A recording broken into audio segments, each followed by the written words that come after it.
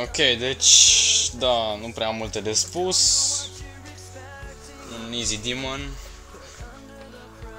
Și da, aici aveți replay-ul pentru arhiva mea. Vom, voi continua să fac Easy Demons pentru că vreau să fac 500 curând. Așa că da. Ciao.